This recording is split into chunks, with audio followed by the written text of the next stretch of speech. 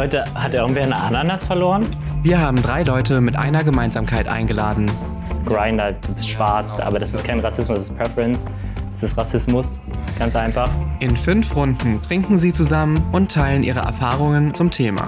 Wir dürfen halt nicht vergessen, was mal war und was wieder sein kann. Uns haben mehrere Leute angegriffen. Es gibt so viele heterosexuelle ja. Pärchen, die, glaube ich, viel glücklicher damit sind, wo der Mann sich irgendwas in den Arsch schiebt halt.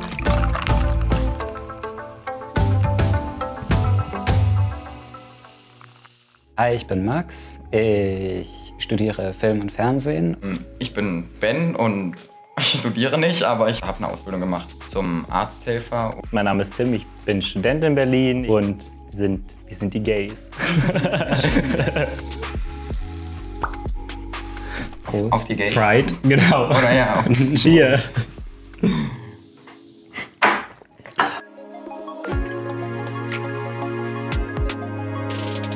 Also ich habe das Gefühl, dass es nicht so schlimm ist, wie es, weiß nicht, früher mal war. Aber dass man natürlich das trotzdem noch zu spüren bekommt, dass es dann bei manchen Leuten nicht so gut ankommt und nicht als Normalfall gesehen wird und einfach akzeptiert wird, wie bei einem heterosexuellen Pärchen zum Beispiel, wenn man da rumläuft oder so. Es kommen immer komische Blicke und das ist halt dann schon eine Art der Diskriminierung, finde ich. So gerade in Berlin ist es eigentlich ganz okay, würde ich sagen. Es gibt halt auch viele Leute, die so ein freundliches Grinsen auf den Lippen haben, wenn sie einen rumlaufen sehen. Aber ich finde, es hat sich auch viel so verändert in den letzten zehn Jahren. Als ich da aufgewachsen bin, in dem Dorf, wo ich herkomme, da war die Stimmung, glaube ich, noch relativ anders. Und jetzt gucken alle Shopping Queen, Guido Maria Kretschmer. Und ja. ich habe das Gefühl, so Dinge haben sich extrem gewandelt in den letzten paar Jahren.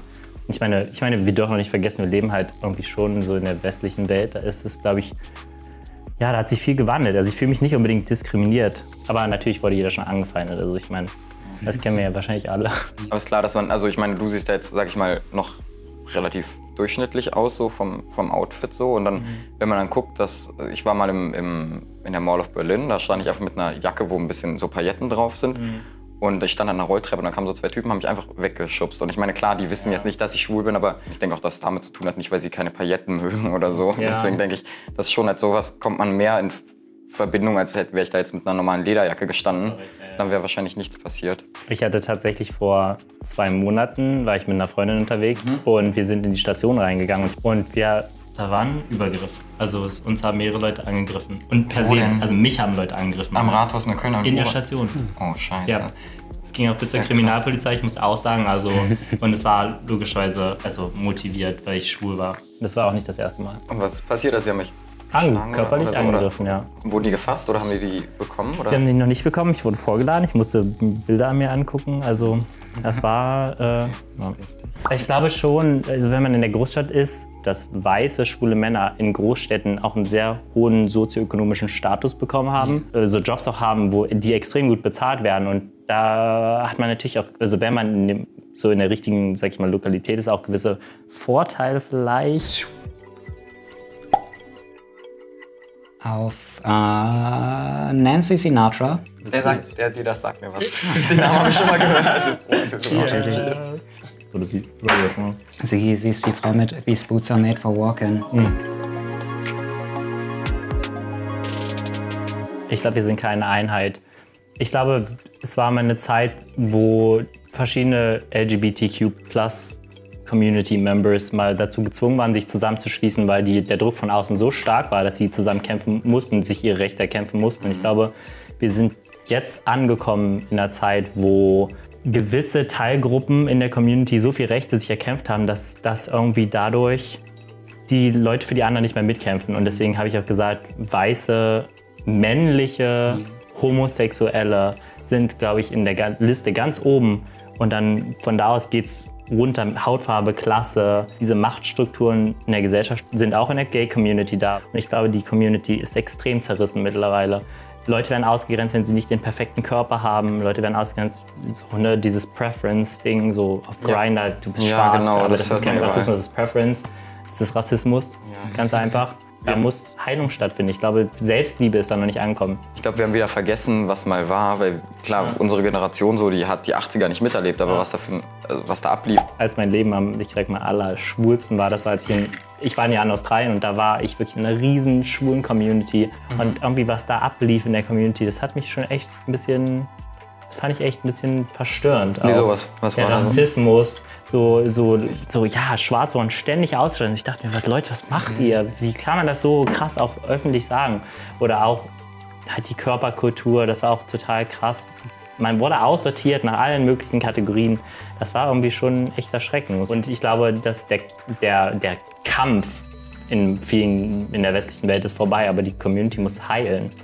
Also erstmal Selbstliebe finden. Viele in der Community internalisieren irgendwie diesen Hass, der von außen kam und richten ihn gegen sich selbst. Und ich glaube auch, dass zum Beispiel Top und Bottom diese Abteilung gar nicht so existiert. Das ist irgendwie so eine Machtstruktur, die sich durchsetzt. Eigentlich Ja. das repliziert heterosexuelle Beziehungen und das ist eine Macht, eine Macht, die da irgendwie eine Rolle spielt eigentlich. Der Punkt. feminine oder? Typen, weil, Ja. weil das ist halt, aber das hat glaube ich nichts mit dem Schwulen an sich zu tun, sondern damit, dass ähm, Frauen an sich als schwächer angesehen werden. Aber was bedeutet das so? Ne? Je weiblicher ihr seid, desto schlechter. Bedeutet weiblich, bedeutet schlecht. Genau. Und, und die anderen versuchen männlich zu sein, top zu sein. Halt, je männlicher du bist, desto besser. Das ist halt wirklich eine Macht, diese Herstellung.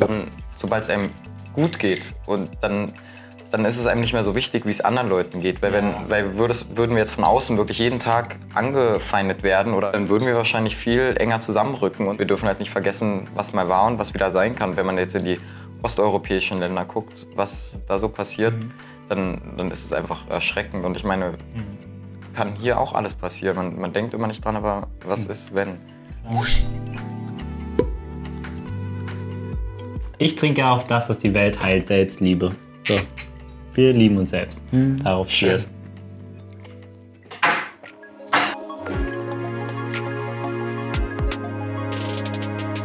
Es kommt, finde ich, immer auf das Land an. Ich würde, also ich würde wegen der gesellschaftlichen Situation, aber auch wegen den LGBTQ, wie auch immer, Bewegungen nicht in die Türkei zum Beispiel reisen, weil ich weiß, da werden die CSDs jedes, jedes Jahr verboten wegen so willkürlichen Gründen. Ich mag so, wie ich rum, mag so, wie ich rumlaufe und ähm, habe das Gefühl einfach, dass ich da noch weniger gut ankommen würde als hier in Berlin. Ich meine, meine letzte Auslandserfahrung bei Island und das war sehr okay. Ich habe in, in der Elfenschule gewohnt bei einem homosexuellen alten dicken Mann, der die ganze Zeit Witze gemacht hat, der die ganze Zeit Witze gemacht hat, wie er mit uns Unzucht treiben möchte. Deswegen war es ganz okay. Hast du noch seine Nummer? ja. Und tatsächlich. Man hat auch extreme Gefälle zum Beispiel, ne? also von Land zu Land. Es gibt diesen Spartacus-Index, ich weiß nicht, wie repräsentativ der Mit ist. den Reiseländern meinst du? genau. Ja. Wenn man über das Ausland redet, man guckt ja sich verschiedene Dinge an, und zwar Gesetzeslage. Gibt es da Schwulenehe? Ist es überhaupt legal? Und die andere Seite ist dann, und wird das geschützt? Also kriegen die, dürfen die Prides haben? Wird die Werbung geschützt? Wird Diskriminierung verboten? Das sind diese zwei Gesetzesdinger. Und dann die Stimmung in der Gesellschaft. Und da, ich glaube, so kommt man so auf so eine grundsätzliche Bewertung für die Länder. Und Spanien steht sehr weit oben. Stand, glaube ich, jahrelang auch über Deutschland. Obwohl Spanien erst katholisch ist. Italien ist genauso erzkatholisch wie, wie Spanien und trotzdem ist es in Italien, steht Italien ganz weit unten auf der Liste, weil die Stimmung in der Bevölkerung ganz, ganz anders ist. Die sind viel, viel homophober und das merkt man da auch, wenn man Das, hinreist. ich war in Italien letztes Jahr, glaube ich, war das. Ja. Und man hat es auch gemerkt, Interessanterweise mein, mein Friseur, der auch schwul ist und der auch viel älter als wir ist, ähm, der ist schon sehr viel rumgereist auf der ganzen Welt. Ich, fand ich es interessant, weil er gesagt hat, er hat sich so hart erkämpfen müssen, vor sich selbst zu sagen, dass er schwul ist, dass auch wenn er ins Ausland geht, in Länder, wo es illegal ist, dass er, wenn die Leute fragen, trotzdem zu denen sagt, ich bin schwul, weil er gesagt hat, selbst wenn die mich da umbringen würden oder was passieren würde, er wird nie wieder, er wird das nie wieder verstecken. Er wird das öffentlich, öffentlich sagen, egal was passiert. Und ich glaube, was ich damit auch sagen will, ist, es gibt auf jeden Fall Länder, wo es nicht so ist wie hier, oder wo, wo wir relativ viele auch ähm, Rechte genießen, die uns schützen sogar. Zum Beispiel, ich musste, als dieser Übergriff war, von dem ich schon erzählt habe, da kam die Polizei logischerweise und ich habe zu denen gesagt, ja, das war ein homophober Angriff. Die meinen, das ist gut, dass du das gesagt hast, weil das bedeutet, dass, es ein, dass das Kriminalamt dann dagegen vorgeht. ja es ist genau der gleiche Status wie ein rechtsextremer Übergriff. Und diese Rechte genießen wir nicht in allen Ländern. Und in den Ländern, wo wir die nicht genießen, habe ich auch das Gefühl, dass auch in der Gesellschaft oft ähm, ich mich nicht unbedingt so ganz so sicher fühle. Wir trinken auf die Liebe. Ja, definitiv. Cheers. Prost. Ah ja, das Englische sagt man jetzt heutzutage. Das Englische sagt man heutzutage. Ich fand es ganz gut bisher. Ja? Was? Das Dating? Ja. Ich nicht. Ich finde es schwer, weil wenn man auf Grinder guckt, dann ist da immer. Naja, sag ich mal, das ist ja, also wenn man jetzt an schwules Dating denkt, dann denke ich sofort an Grinder. Nicht, nicht an Tinder oder irgendwie, sondern an Grinder. Weil das haben, Echt? hat jeder irgendwie auf dem, fast jeder auf dem Handy, denke ich. Ich habe Grinder und Grin, Grinder, dieses Grinder und Tinder für immer versagt. Die sind Genau, für mich, für mich gestorben, nicht- das Thema. nicht- Liebe. Wenn man so einsam ist, dass man Liebe am Fließband sucht, dann ist das was Krankes. Ich Mhm. stehe, ich, ich, Liebe passiert. Liebe, man trifft jemanden im wahren Leben. Ich glaube, ich, ich glaube nicht mehr Das daran. ist schöner, ja. Ich will nicht mit Personen schlafen. Das ist nicht das erste Kriterium, was ich habe. Ich will mich verlieben. Das war auch schon immer so. Und ich glaube, deswegen fand ich das auch immer komisch, dass viele von meinen schwulen Freunden Mhm. ständig jemand Neues hatten. Und ich mir dachte, Leute, ich, ich will mich Aber verlieben. Hast du nie so einen One-Night-Stand gesucht oder sowas? Nee, gesucht habe ich das noch nie. Okay. Ich wollte mich schon immer verlieben. Vielleicht bin ich da irgendwie aber schräg drauf. Natürlich hatte ich auch schon One-Night-Stands, aber ich meine, das hat mich nie erfüllt. Und im Gegenteil, ich habe mich sogar schlecht gefühlt. Ich glaube, nicht, ich glaube nicht, dass Ich sowas einsam erfüllt. gefühlt. Nein. Man, man denkt Ja. so in dem Moment vielleicht so kurz so, ja geil, ich hatte jetzt, wow, diese Woche schon drei Typen irgendwie. Aber Ja. wenn man am Ende, am Ende merkt jeder, dass er nur nach, dem, nach der einen Person sucht. Dass man aber trotzdem danach guckt, so, okay, ist der jetzt 1,70 groß oder 1,85 Fair enough. oder sowas? Und, Ja. dann, und dann denkt man eigentlich so, eigentlich zählt doch nur der, der, Charakter, ist das, was den Unterschied macht. Und kennt ihr das nicht, wenn ihr eine Person kennenlernt und ihr, ihr, ihr, fällt sofort ein Urteil und dann redest du mit der Person und sie guckt sich als was ganz anderes? Das kenne ich. Und ich glaube ehrlich gesagt, dass man sich so verliebt. Ich finde es mittlerweile krank, muss ich ganz ehrlich sagen, wie Tinder und Grindr funktionieren. Du wirst trainiert darauf, eine Person auszukategorisieren. Das gefällt mir nicht, das gefällt mir nicht. Die, die Person sieht nicht so gut aus. Das ist doch krank. Wir sehen die Menschen nicht mehr dahinter. Nach Jahren, nachdem ich das auch, nachdem ich das auch benutzt habe, glaube ich nicht mehr daran, dass das gut ist für unsere Gesellschaft. Das ist doch total krank, so einen perfekten Partner zu suchen. Und auch was das über einen selbst aussagt. Ich muss auch so perfekt sein, damit ich so einen perfekten Partner verdiene. Leute, wir sind Menschen. Wir müssen ins Spiel gucken und sagen, wir lieben uns so, wie wir sind. Egal, ob wir dick sind, dünn sind, was für eine Hautfarbe. Wir sind Menschen und nicht irgendwelche perfekten Kategorien. Ich finde, das, das macht mir echt Angst. Es ist ein bisschen besorgniserregend, wie Leute über Körperbilder aussortiert werden. Es kommt halt darauf an, glaube ich, wie man mit diesen Apps umgeht, weil es ist natürlich in Teilen auch eine große Hilfe, dadurch, dass man eben tatsächlich einen Safe Space schafft, über den man Leute einfach finden kann. Wir nehmen die Wir Liebe. nehmen die Liebe.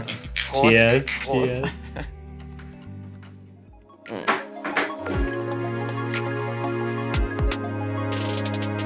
Schwachsinn. Glaub ich ich glaube, nicht. also was mir als erstes dazu einfällt, ist, dass ich irgendwo gelesen habe von einer Studie oder so, ähm, dass eigentlich jeder Mensch bisexuell ist und nur eine unterschiedliche Ausprägung hat. Es gibt keine, keine Schubladen, wo man jemanden einordnen kann, sondern es gibt nur, es gibt nur ein, einen Strahl und da wird irgendwer ist mal so und dann vielleicht zehn Jahre später ist er halt irgendwie da auf der Skala, irgendwie da so und Ich glaube, ich glaube auf jeden Fall, dass Bisexualität ähm, existiert. Ich glaube aber tatsächlich auch, dass viele das benutzen als ersten Schritt so des Coming Outs. Ich habe es genauso gemacht. Ich habe meinem Vater erzählt, ich bin bisexuell. Ich habe dem nicht gesagt, ich bin du hast schwul. jetzt bisexuell geoutet. Ja, ja, ich habe das immer in einem Streit, in einem, Streit an meinem Geburtstag zu meinem Vater, als ich be betrunken war, habe ich es ihm gesagt. Und, und nochmal ganz am Rande, ich bin bisexuell, damit du es gleich weißt. Ich habe nicht gesagt, ich bin schwul. Aber ich, ich kenne viele Leute, die sich erst als Bisexualität, äh, bisexuell outen und dann als schwul. Ich glaube, das ist so, so, so ein bisschen so nach dem Motto, lessen the blow. Ja, so, es genau. darf nicht- gar ich nicht so auch schlimm sein. Früher, man, der erste Schritt zum Coming Out ist ja immer, dass man sich selber akzeptiert und es vor sich selber klar macht. Mhm. Und ich war immer so, Ben, du bist nur bisexuell, das ist nur halb schwul, weil du nur halb auf Männer stehst. Und das war immer meine Hoffnung. Ich war immer so, hey, Schlimm, dass wir beruhigen? das denken müssen. Die Geschlechter, die Sexualität, alles ist einfach so festgelegt, wie, Ja. wie das früher war. Und wir sind jetzt einfach in einem anderen Zeitalter. Und, Aber die Leute kommen halt noch nicht drauf klar, dass es sich geändert hat. Und das, oder dass man es nicht braucht, Auf dass es unnötig Fall. Hm. ist, die Frau anherzustellen. Weil der Mann kann auch kochen, denke Ja. ich. Hoffe ich mal. Ja, und ich kenne auch so viele Heterotypen, die mittlerweile sagen, ich will gern Friseur werden. Sowas hat man auch lange nicht Hetero, gehört. ne? Ja, die sagen, ich will Friseur werden oder ich hätte eher was Kreatives gern gemacht. Weil man traut sich jetzt wahrscheinlich mehr, dass sich Ja. auch die mehr trauen. Oder es gibt ja auch ähm, Anal. Vibratoren oder Vibratoren sind jetzt gar nicht mehr für, Ja. nur für Schwule. Klar, das Klischee ist immer noch, das nehmen nur Schwule, aber es gibt so viele heterosexuelle Pärchen, die, glaube ich, viel glücklicher damit sind, wo der Mann sich irgendwas in den Arsch schiebt, halt, was irgendwie ähm, Ja. ziemlich fortschrittlich ist, finde ich. Und ich finde das immer, ich finde es bewundernswert, auch wenn es was auch. Normales sein sollte, aber es ist halt irgendwie noch keine Normalität, deswegen denke ich, es ist gut. Abonniert Flop! Perfekt, oder? Vielen Dank für das Ansehen von dieser Folge Philosophieren. Wenn ihr das Video blöd fandet, könnt ihr einen Daumen nach unten geben. Aber wenn es euch gefallen hat, gebt einen Daumen nach oben und teilt das Video mit euren Freunden.